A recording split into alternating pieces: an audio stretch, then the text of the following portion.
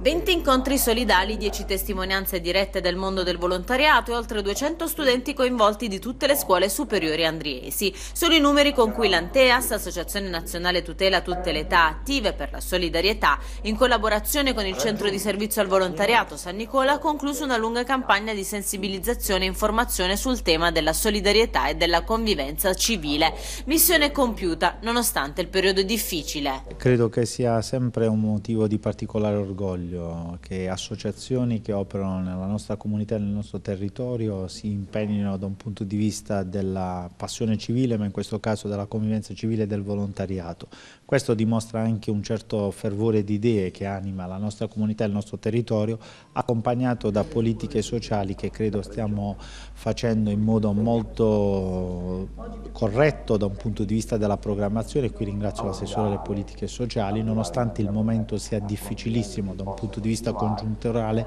e riuscire a, com comunque a sostenere queste iniziative è un merito ulteriore che dà contezza e dimostrazione di come attraverso la programmazione si possa sopperire anche alle difficoltà del momento e al contesto che stiamo vivendo. Il messaggio finale lanciato soprattutto ai ragazzi è il richiamo a non disperdere tra i miti di una falsa società del benessere l'autenticità e la ricchezza del proprio essere, in quanto naturalmente dotato di grande umanità e generosità verso se stesso e verso gli altri. però si riesce a